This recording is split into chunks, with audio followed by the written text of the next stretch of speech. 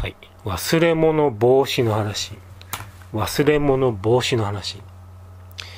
えー、忘れ物をね、防ぎたくて、いろんな手をね、考えてるんですけども、えー、まずあの、どっか行った時に置き忘れて帰ってくるっていうね、紛失するパターンね。これは、あの、物を置かないっていうね、ことで防げると思うんですね。どっか出かけた時に財布とかを棚とかに置いちゃうと忘れちゃうから。トイレとかでもね。えー、スマホとかでもそうですよね。どっか置いとくと、立ち去る時に持っていかなければ忘れちゃうから。その5分、10分でもね、あの忘れたら嫌ですよね。危ないと思うから。だから飲食店とか行った時も、あの、極力物を置かない。机に置かない。うん。バッグの中から出してみて、使って、で、またバッグの中に戻すっていうね。こうやってます。そのバッグも、あの、忘れにくいようなバッグ。つまり、ほとんどの時間自分の身につけてるバッグですね。私の場合ね、ボディバッグ使ってますね、ボディバッグ。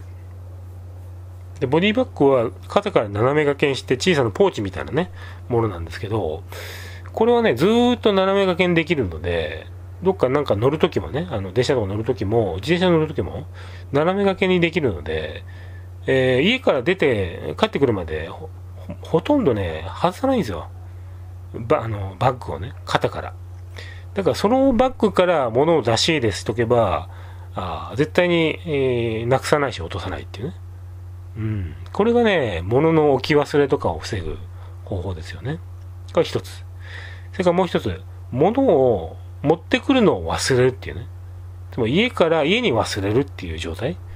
家に忘れて持ってくるのを忘れちゃったっていう、その忘れ方を防ぐっていうね、え方法ですけども、えー、私の場合はね、財布とかスマホとかエコバッグとか基本的な外出時の持ち物ありますよね。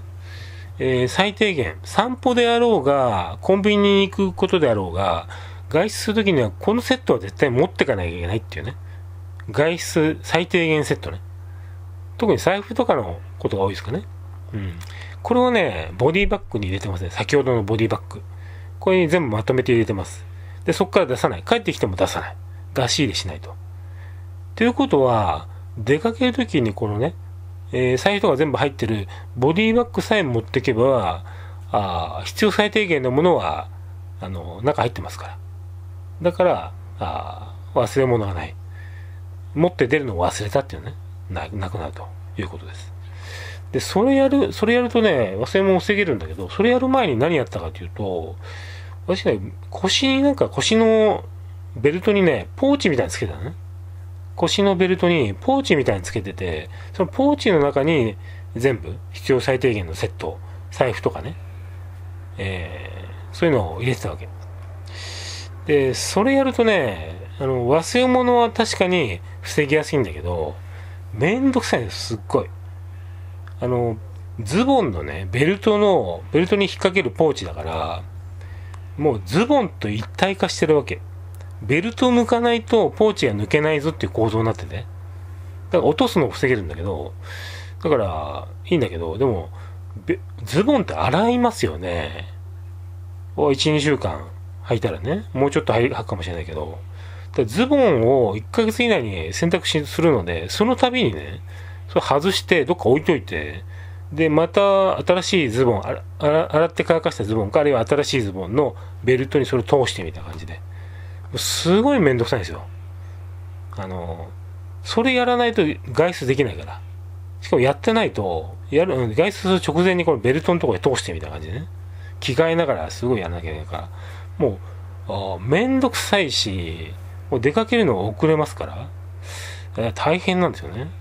今はね、そのベルトの引っ掛けるポーチじゃなくて、あの、肩掛けのね、ボディバッグなんで、これはもう、ズボン洗おうが、シャツ洗おうが、関係ないからね。独立してますから。だから、それ1個持ってけば、まあ、あとは大丈夫ということですね。で、問題はですね、えー、近所のコンビニとかじゃなくて、もっと3、4時間、5、6時間自転車でもそうですけど、3、4時間、5、6時間行くときに、その、持ってかなきゃいけないセットがあるんですよ。自転車の場合は特にね。で、これ何かっていうと、長距離用のセット。例えば、自転車の修理工具、修理キットね。緊急用の修理キット。それから、えー、空気ポンプ。空気抜けた時のね、空気ポンプ。それから、もちろん水とかね、そういったもの。それから、まあ、緊急用の食料もそうですよね。を入れておくと。それから、えー、地図地図もね、入れてますね。4、5時間以上かかるときは。まあ、知ってる道であってもですね、4、5時間以上かかると結構離れちゃいますから、だから、迷った時に復帰しやすいように、地図も入れてます。これは長距離用セットなんだけど、これをね、リュックの中に入れたんですね、リュックに。うん。で長距離の時は、このリュックと、それから先ほどのボディバッグを持っていけば、まあ、とにかく考えずに、何も考えずに、えー、必要なものは全部揃ってるわけね。うん。だから、まあ、あの、いいよ。まあ、これ、はっきり言って自転車セットですね。自転車セットですね。このリュックの場合はね。工具とか空気ポンプとかほとんど自転車のものだから、マップとかね。自転車長距離セットなんだけど、えー、これをね、まあ作っとくと、自転車長距離行きたいと。じゃあこのリュックとね、それからさっきのボディバッグ持っていけば、とりあえず忘れ物はない。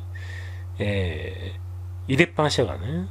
で、この、出かける前にチェックリストとか作って、これは入れる、これは入れないとかやってると忘れちゃうんで、思わずね、忘れちゃうんで、チェックリストね、あってもね、忘れるときは忘れますよ。はっきり言って。で、チェックリストをもう作らないでもね、経験上、このリュックに入っているものを全部持っていけば、自転車のトラブル系は大体 OK だと。